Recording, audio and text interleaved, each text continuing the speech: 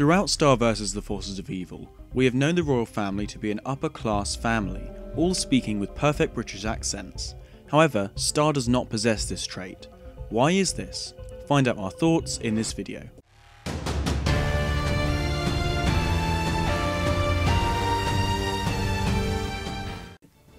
So all of the royal family members we have met have spoken very eloquently with British accents.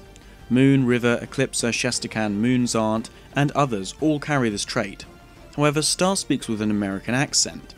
I've searched all over the internet to try and find people's thoughts on this, however, I have not found one page that mentions it, so I decided to weigh up my own opinions.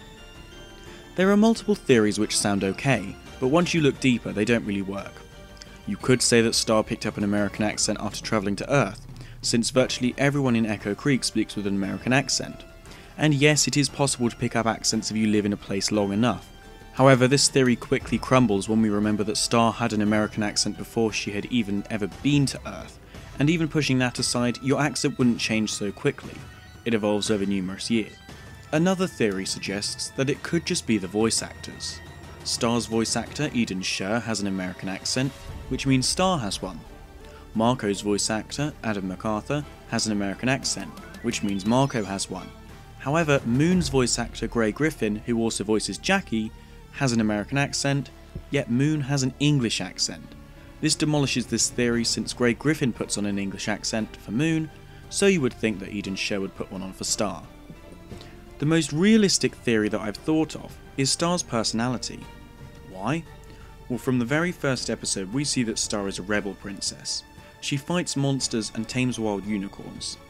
Where most of the royal family most likely grew up with elocution lessons, these are lessons that help you to speak properly, Star did not, since she was too busy doing what she wanted. And yes, Moon plays quite an active parenting role, however, she can only make Star do so much. This theory seems to be the most stable, especially as Star could have easily just inherited the American accent from various castle staff and other Mewman villagers, especially as she claims in one episode she was brought up by the castle knights. That's all for today's video. This has been your writer and voice actor Harry. Why do you think Star has an American accent? Do you think there was actually no thought put into this element of the show? Or do you agree with us? I'd love to hear about your thoughts in the comments section below. Don't forget to drop a like on this video if you enjoyed it, and make sure to subscribe and hit the notification bell for more videos like this in the future. Bye!